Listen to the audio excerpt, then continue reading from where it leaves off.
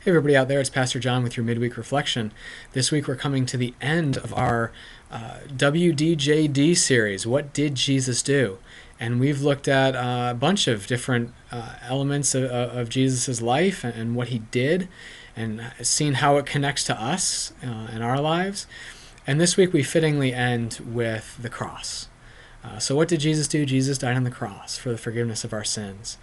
Um, and the cross is is really, uh, of course, a core uh, emphasis of the New Testament. Um, the gospel writers spend uh, more time on Jesus' last week than any other um, uh, period of Jesus' ministry. Um, Paul and, and the author of Hebrews and uh, and Peter, you know, all of them uh, emphasize the cross of Jesus Christ as a central component of why Jesus came and what Jesus did. Uh, something happened there. Um, it wasn't. It's not just a death. It's there's something more going on, and and really for the last two thousand years uh, since the cross. Um, Christians have been uh, exploring the mystery of the cross. What did it mean? Why did Jesus have to die? Jesus says again and again in the Gospels, it is necessary um, that, that I would die, that I would be handed over um, and be killed. Uh, why was it necessary? Why is Jesus so um, resolute in, in the necessity of his death? And why does he, in, in many ways, instigate it.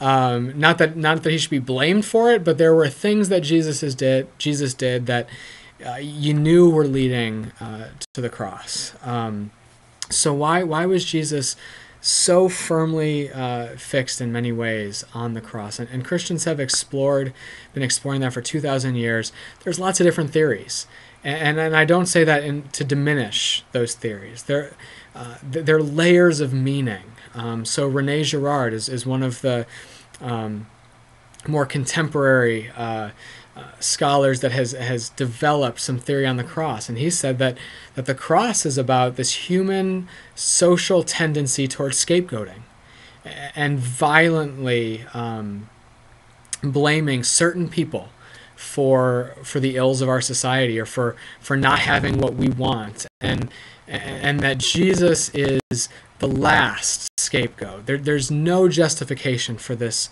tendency of human beings to blame and be violent towards others uh, when we see that human society put Jesus on the cross.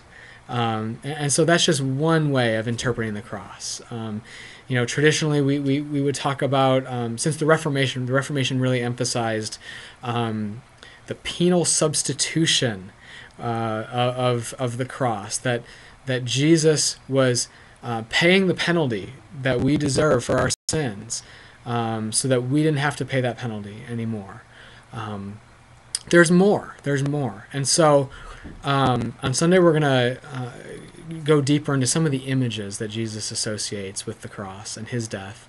Uh, how does Jesus himself talk about the cross and why he's dying? Um, but until then, I, I, would just encourage you to be pondering what what is the cross? Why the cross? You know, how would you answer some of these questions? Why did Jesus uh, have to die on a cross? Um, what does the cross mean for you? What is its significance in your life? Uh, those are some some questions to ponder as you prepare for worship on Sunday. Um, and I encourage you, uh, you know, if you want to reflect a little bit on, on Facebook, on this post um, on Facebook or on the YouTube channel or what have you, please do so. If you want to just personally email me, um, some thoughts and reflections that, that might help me to to better address um, kind of where you are on Sunday. That would be great too. Um, as always, I look forward to worshiping with you as we live the gospel life together. And until then, may God bless you.